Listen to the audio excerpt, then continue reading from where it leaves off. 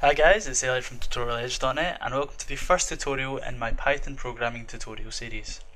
This series will be focused upon teaching you how you can build a set of tools that can perform high quality search engine optimization analysis on any given web page. These tools will allow you to test your competitors' sites and evaluate what metrics are making the biggest impact to their search engine rankings. In this tutorial I will briefly show you how you can retrieve a web page and print out its contents using Python's urllib2 Python module. Okay, so open up your preferred text editor and create a new Python file called fetchpage.py. In this tutorial series I will be using Adobe's new Brackets text editor which you can download from a link I will leave in the description below.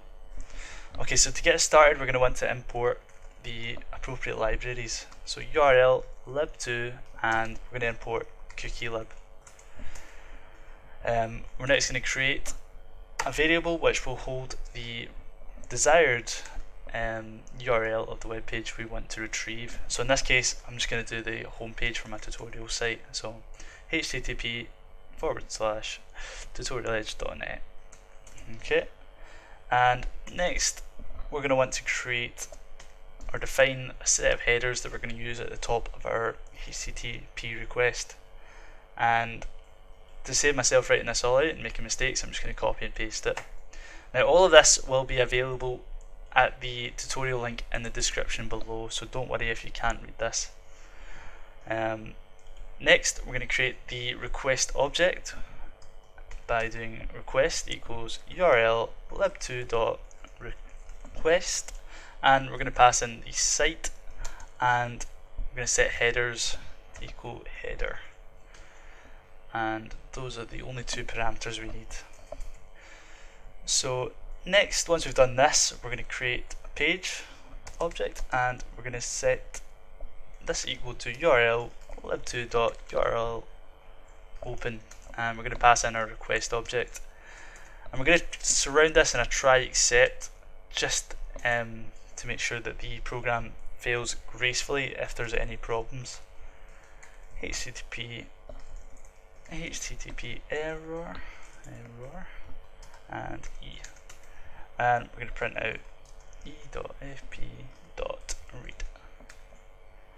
okay so lastly now that we've both created the request object and we've opened this request object we're going to want to read the response so we're going to create a variable called content and we're going to equal this as page.read. And once we've done, that, just to make sure it all works, we're going to print out this content.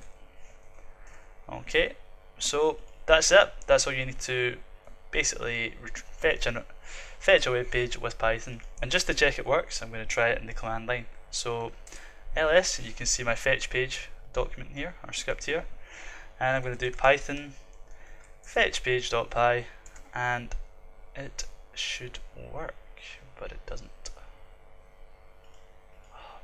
Ah okay. So I'm changing that and it should work now. So fetch page and we'll just wait for that to load.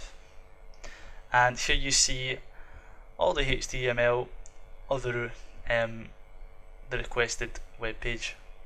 And that's it guys if you found this tutorial useful or you enjoyed the video at all, then please leave a like and subscribe to my channel for more tutorials. Cheers!